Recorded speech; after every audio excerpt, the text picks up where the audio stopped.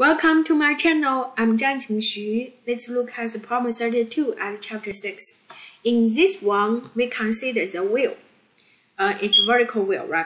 And then we need to consider the person's uh, weight at the top or at the bottom. So the weight in this case is just the normal force act on this person. See what, what quantities they give us. First one, they tell us the diameters. So very easily we can get the radius there. And also it tell us the period, right? So once you know the radius and the period, the next quantity, you must be very interested, must be the velocity. Because this is a circular motion. For one complete circle, the distance it covered is 2 pi r. Agree? And the time taken for one complete circle is t. So in this one, we can get the, the speed 2 pi r divided by t, this one. So we put it there. And the next one asks you for the ratio for the weight to, for the apparent, apparent weight to the real weight. So there, what is apparent weight? What is the real weight? Apparent weight is what is the number shown on the scale. That is the normal force. The real weight is the mass times the g.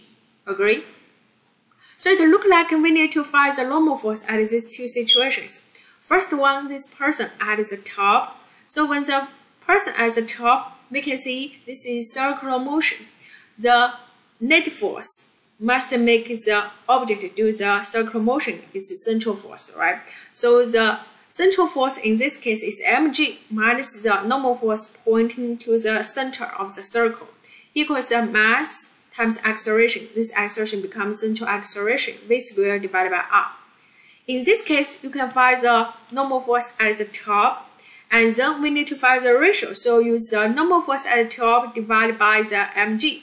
Finally, you find this term. See, look at this term. We find the velocity is given. g is a constant. r is given. Very easily, you can find it. The next one you find the ratio at the bottom. So still at the bottom, we can see the gravity always pointing down, and then the normal force pointing up in this case. Do you agree? Yes, because there is there is some. This is at the bottom of the circle, so there must be force make it to do the circular motion. So in this one, we can see the normal force minus the gravity. This one equals mass times the central acceleration.